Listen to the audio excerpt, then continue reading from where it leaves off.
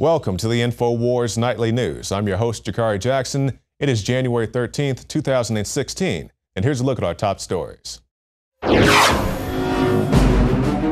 Tonight, InfoWars analysis of Obama's State of the Union address. How many bold faced lies did he tell this time?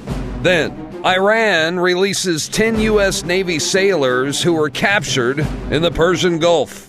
Plus, Senator Rand Paul reveals who killed the Audit the Fed bill. The good news is, you know, we got a majority yesterday. We got 53 votes for auditing the Fed, and we needed 60, unfortunately. We were missing uh, Ted Cruz, unfortunately. We got close, but we didn't quite get there. But to me, that's a long fight. It's long overdue. The Federal Reserve really is responsible for a lot of uh, the income inequality in our country. That's how we recovered from the worst economic crisis in generations. All that plus much more up next on the InfoWars Nightly News.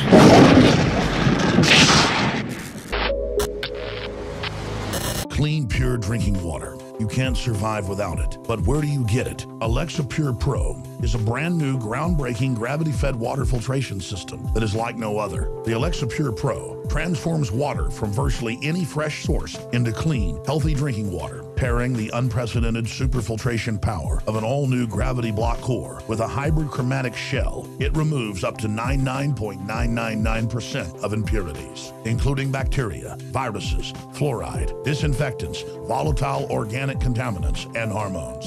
Filter capacity up to 5,000 gallons. Stainless steel construction. Easy assembly. Low maintenance. Replacement filters are simple to install. And now, as part of an exclusive limited time introductory offer, you can save $20 off the retail price and get free shipping. This is a limited time offer, so order your unit today and receive free shipping and $20 off. Go to InfoWarsStore.com or call 888 253 3139.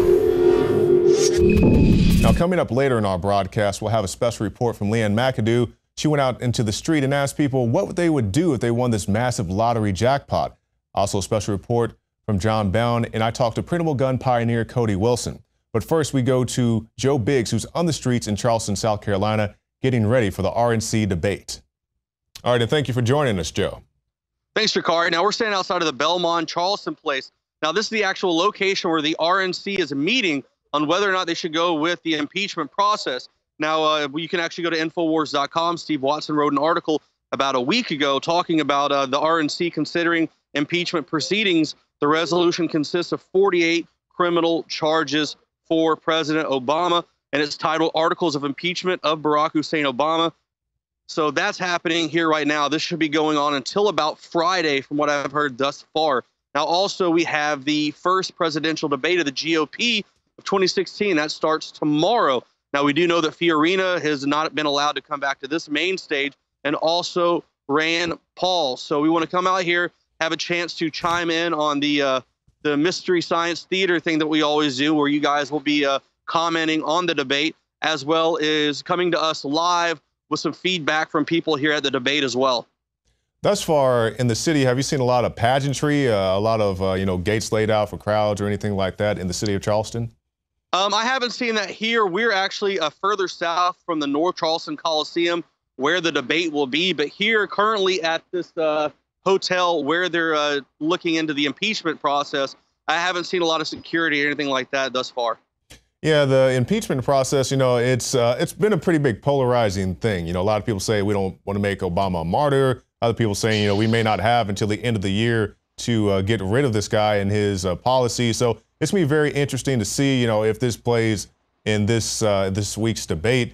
Um, you know, as you know, Joe, previously uh, the Democrats have been having these debates on Saturday nights. You know, when Star Wars comes out, or the next one's going to be during the NFL playoffs, from what I understand. So it's very interesting to me that they continue to have these debates at times that nobody's going to be watching.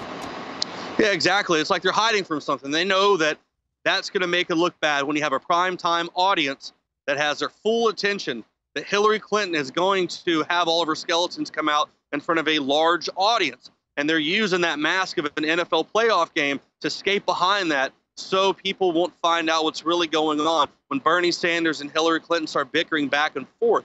Now, they have no problem with the uh, Republicans going out on the main stage in front of a uh, uh, you know a population that has no distractions whatsoever because people want to hammer down on the Republicans. People hate Donald Trump. A lot of people do. You know, you got a lot of people that uh, are confused on whether or not Ted Cruz should be allowed to run for president. So there's a lot more uh, WWE themed things with the RNC versus uh, the Democratic debate. People want to keep that on the hush hush. Well, it's going to be very interesting to see. And of course, as you alluded to, we will have our live coverage here starting at 7 p.m. Central. The debate itself is going to start at 8 Central, but I believe Leanne's going to do a piece. We'll start about 7.30, and then we'll be throwing to yourself and Richard Reeves live in Charleston, South Carolina. Thank you so much, Joe Biggs. Well, thank you. And we also want to encourage as many people that are watching to come out and support us and uh, let us hear your opinions on the upcoming presidential election. Thank you, Jakari. And there goes Joe Biggs. Now, we're talking about the Republicans, but also there's the Democratic debate, as we alluded to. They want to have it during a time that nobody's watching, so we will not be covering that. If they want to have it like on a Monday, Tuesday, Wednesday when people actually tune in, yeah, we talk about that as well. I'm not cheerleading for the Democrats, nor am I cheerleading for the Republicans. I'm just calling it straight down the middle the best I can. And people are calling it down the middle with Obama's latest State of the Union address, of course, that happened here recently. And we have a new article from Kit Daniels today Obama's three biggest lies of the State of the Union address. Number one, Obama claims America has the strongest, most durable economy in the world. In direct contrast to reality, the president said anyone who points out America's economy is in a decline is peddling fiction. Now, think about this. We have a huge financial deficit. We continue to spend millions, if not billions of dollars, uh, whatever it is, uh, minutes, uh, years, whatever. I don't know the, you guys seen all that, that ticker clock. But anyway, we spend a huge amount of money on our military industrial complex. We have a huge bubble in the educational market. A lot of people coming out of college, colleges and they can't find jobs. So it leads to a whole big deal. I saw that movie recently, the uh, the Big Short.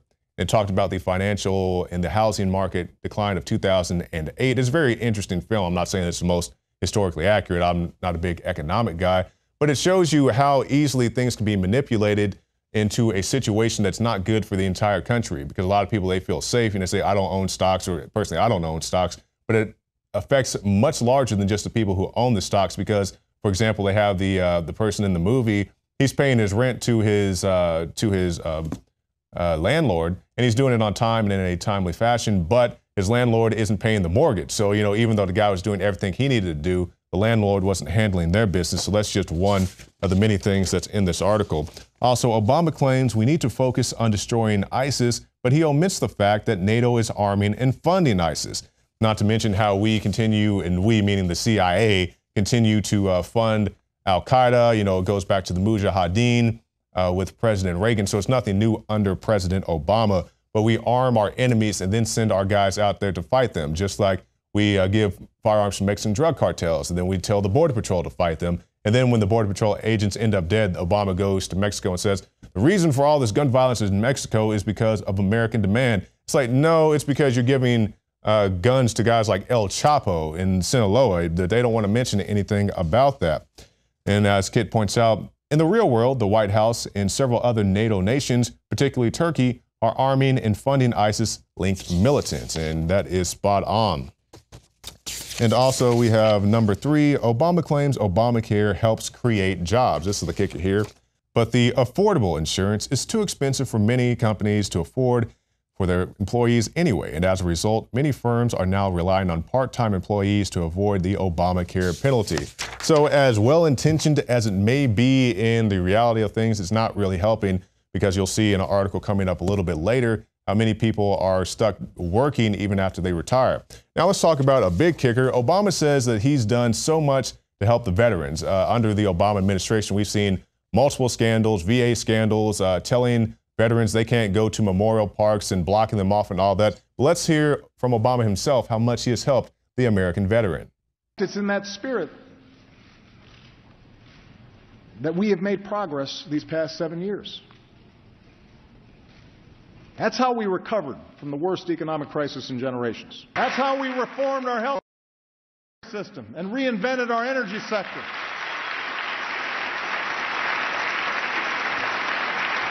That's how, that's how we, that's how we delivered more care and benefits to our troops coming home and our veterans. So there you go, the most transparent administration in history telling you how they help the veterans, even though, as we pointed out, VA scandals and all the rest of it. Uh, the VA is trying to take away people's Second Amendment rights if they have if they go to H and R Block and have somebody help them with their taxes. That shows you how much they are helping the American veteran. Iran releases 10 U.S. Navy sailors after boat drift, drifted into Persian Gulf.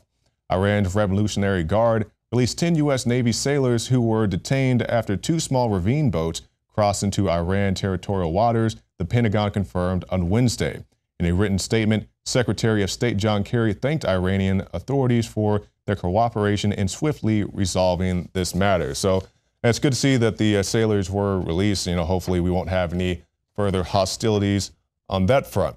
Now, something that's very interesting to me, you know, I don't have any kids, but you know, the big thing I hear from a lot of parents is I don't want to have a gun in my house because you know the kids may find it or whatever else. And I understand that. You know, if you choose to buy a gun safe, that's your business. If you choose to get a biometric firearm, that is also your business. But in the state of Oklahoma, where I'm from, we have an article how parents are suing the DHS over gun policy. It says two foster parents sued the Oklahoma Department of Human Services, that's their DHS, because they say certain department rules for adopting kids violate their right to own guns for self defense. According to the lawsuit, a couple wanting to adopt are required to sign a weapons safety agreement, which states in part that they are prohibited from possessing, from possessing or carrying firearms in their vehicle or while their foster adopted children are present.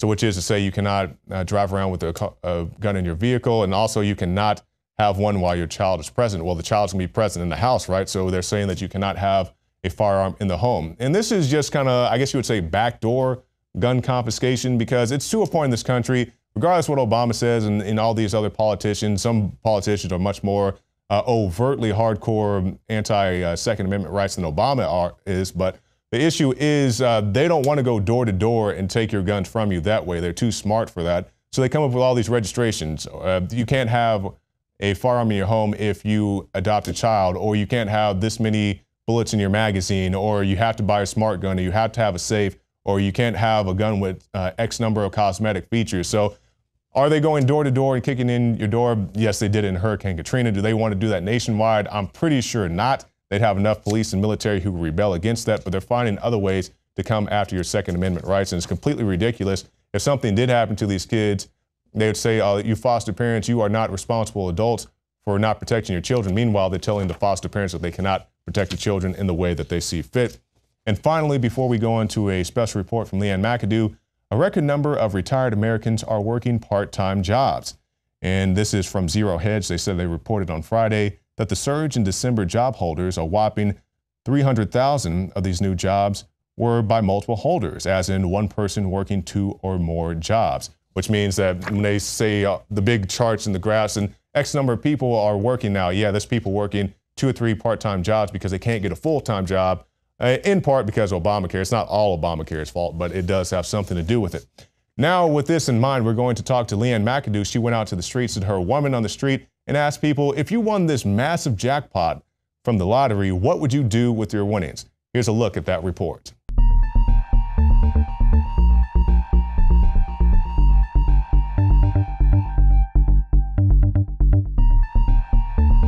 Usually we do about 100, 150.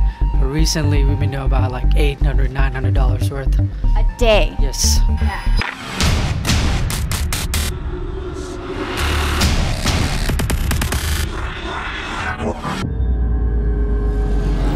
Leanne McAdoo for Infowars.com. I am out here reporting on what is being called Powerball Mania. People have gone absolutely hysterical and driven up this prize. It's the highest prize in lottery history $1.5 billion. And as you can see, this Powerball sign doesn't even go that high.